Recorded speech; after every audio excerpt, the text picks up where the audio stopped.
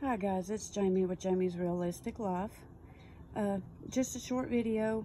I wasn't going to put this up on my Etsy shop, but my husband kept on and on and on and on about it. So it is up right now. It's the 100 envelope challenge. You choose the amount. And I'm going to zoom in down here. So you see envelope 1 through 100. They have all kinds of different numbers on it. So let's say you pull envelope number 92. If you don't have the $92, you can put in a 9, a 2, or 11.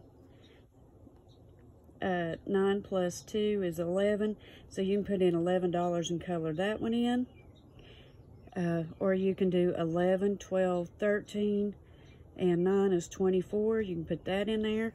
Of course, up here I showed you just an example Envelope number one has got $3 in it. Envelope number 43 has got 14 because I went 4 and 3 is 7 and 7 is 14. And then I pulled number 68 and it only has $8 in it. So this is just an easy low income way. of anybody can do it.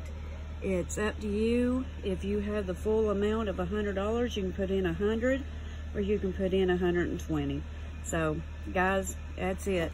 This is up on my Etsy. It is $2. You get this savings challenge and then you get the tracker to go with it. Actually, I think there's two pages of the savings tracker for it. So that's it guys. I'll see you later.